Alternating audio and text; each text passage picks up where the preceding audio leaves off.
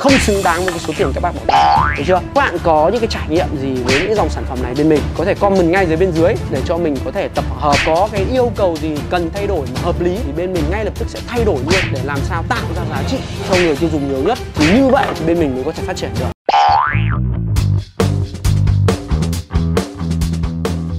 Anh anh ơi! Gì thế em? Biết tin gì chưa anh?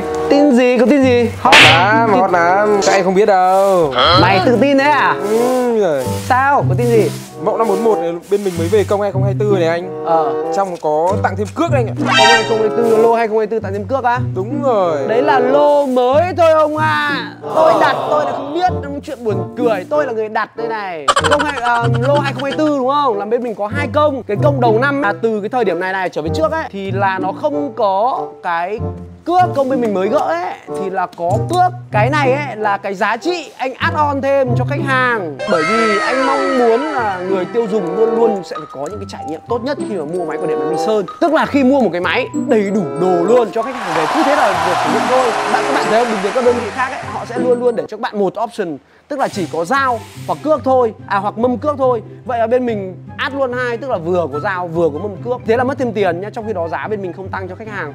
Bây giờ uh, rất là nhiều khách hàng bảo là ôi ôi mâm cước mà lại không có cước khác gì là cho rượu mà lại không cho mồi. À đâu không làm có được đâu bên mình át luôn tặng luôn cho anh em. Khi mà đặt uh, tặng cho các bạn thêm cước này này thì là cũng sẽ mất thêm chi phí đấy anh em ạ. Tức là khi đặt hàng ấy mình thêm bất kỳ một chi tiết nào thì đều phải mất thêm chi phí. Ví dụ như là bên mình bỏ dao hoặc bỏ à, bỏ mâm cước thì sẽ đỡ được một ít hoặc là không có mâm cước thì lại đỡ được một ít hoặc là giảm thiểu cái chất lượng cái gì đó ấy, thì đều đỡ được tiền hết.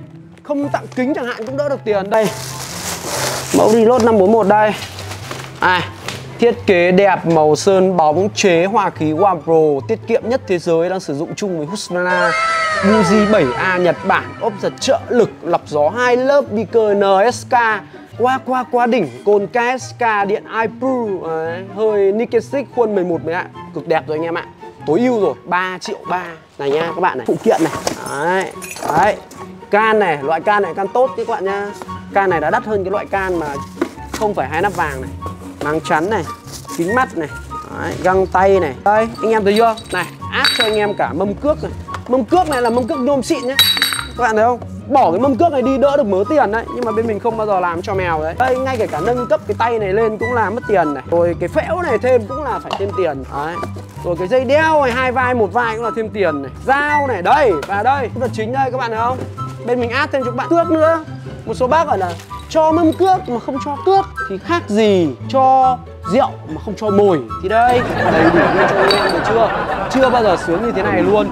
Đã thế lại còn tặng cho các bạn một mũ bảo hộ nữa. 3 triệu ba cho một mẫu máy này. Tặng mũ bảo hộ, lại còn được thêm cả 20 mét cước nữa. Quá là nhiều giá trị mà trong khi đó giá không tăng, càng ngày càng giảm. Chưa bao giờ thấy như bây giờ luôn. Tức là cái giá của nó sẽ cực kỳ tiếp cận. Mình khẳng định luôn nhé mình, bên mình làm tất rất nhiều những cái mặt hàng hãng. Hu mình làm tầm 10 năm, hơn 10 năm rồi. Huvana Estin mình làm rất là nhiều năm rồi. Tế ra mình rất hiểu về trong những cái chi tiết như thế nào. Đối với Estin thì rất khó có thể OEM một cái hàng chất lượng tương đương được. Nhưng về, với Husqvarna thì bên mình hoàn toàn tự tin có thể có thể build up lên một cái sản phẩm chất lượng tầm 70 cho đến 80 phần trăm trong khi đó giá chỉ một nửa và đây là một trong lựa chọn cực kỳ tốt luôn. Đấy, còn chưa bác nào sử dụng máy này của bên mình mà lại có bất kỳ một phản hồi nào chê là không xứng đáng với cái số tiền các bác bỏ ra. Được chưa? Rồi, nếu anh em có nhu cầu thì liên hệ ngay với Điện Máy Bình Sơn để được tư vấn hỗ trợ.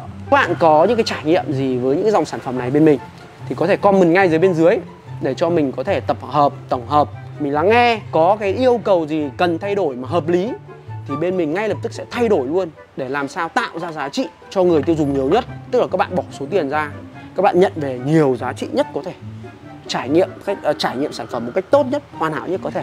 Thì như vậy thì bên mình mới có thể phát triển được. Đấy là những cái giá trị những cái mục tiêu mà bên mình hướng đến. Rồi cảm ơn anh em đã quan tâm. Xin chào hẹn gặp lại anh em ở những video lần sau nhá